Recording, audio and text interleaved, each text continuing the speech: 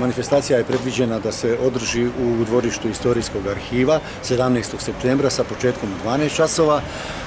Ako bude lepo vreme, znači to će biti tu, a ako slučajno vidimo da će da bude kiše, mi ćemo to znati dan ranije, prebacit ćemo je u Dom kulture koji se nalazi ovdje u centru grada, na trgu i manifestacija će u svakom slučaju da se održi i bit će veoma uspješna.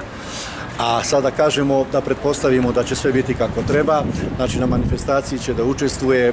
E, više od dvadesetak izlagača, što, što naših proizvođača sira, što neki ljudi koji sa strane dolaze, koji su, tako, kako da kažem, naši verni partneri i u proteklim godinama. Normalno znamo da u protekle dve godine nismo imali manifestaciju zbog covid ali evo, peti put ove godine će se manifestacija održati na opšte zadovoljstvo svih nas i tu će biti izloženo znači i pored e, e, ovih ljudi koji proizvode sir i kačkavalj, naravno rodonačelnici su tu i domaćini, glavni su mlekarska škola koja je jedan od, organizatora pored nas iz turističke organizacije. Oni će, oni će kroz svoju delatnost da prikažu kako se proizvodi kačkavalj, znači bukvalno ćemo imati na licu mesta parenje kačkavalja, proizvodnju, odnosno pokazivanje kako se pravi džubek i imaju još jedan jedan specijalitet koji su oni,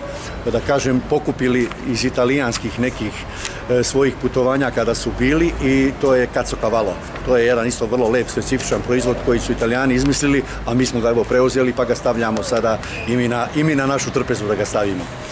E, pored njih bit će, e, pored proizvođača sira i, kača, i kačkavalja, tu će biti i jedno sigurno 7-8 vinarija, što naših, što gostiju sa strane, tako da će posjetioci moći da malo pomešaju te ukuse vina, rakije i kačkavalja i belog sira, naravno. Pored toga još e, treba da kažem da ćemo imati i dve jako interesantne i značajne promocije e, knjiga, to je knjiga o Kačkavalju od našeg profesora istoričara e, Davora Lazarevića i bit će još jedna promocija knjige, to je kratka istorija Toplog dola i Stare planine od gospodina Srđana Cvetkovića. Znači manifestacija je predviđena da počne u 12 časova i da traje do nekih večernjih sati, već kako, kako budemo imali posetioce a ono što je interesantno, što pozivamo sve vaše goste, naravno poslali smo poziv e, širom Srbije, za ovaj put to će biti, ja mislim, jedan lep povratak one manifestacije koje smo nekada imali i pogotovo što je sad radimo eto u nekom novom prostoru gdje ćemo imati malo i neke koncertne aktivnosti, neku poeziju, eto tako jednostavno napravit ćemo jedan lep gradski skup. I na kraju moram da vas pitam, pretpostavljam da imate potvrdu i drugih proizvođača iz drugih mesta u Srbiji, ko će se sve pored naših proizvođača sira i kačkavalja predstaviti na festivalu? Pa vidite, mi smo poslali poziv e, organizatorima Balkan Cheese Festa u Beogradu, gdje oni okupljaju više od 50-60 e, svojih, odnosno proizvođača iz Srbije koji nastupaju na, tom, ovaj, na toj manifestaciji. Mi očekujemo potvrde najmanje 3-4 proizvođača koji su iz, raznih delova Srbije, a pogotovo ovi e,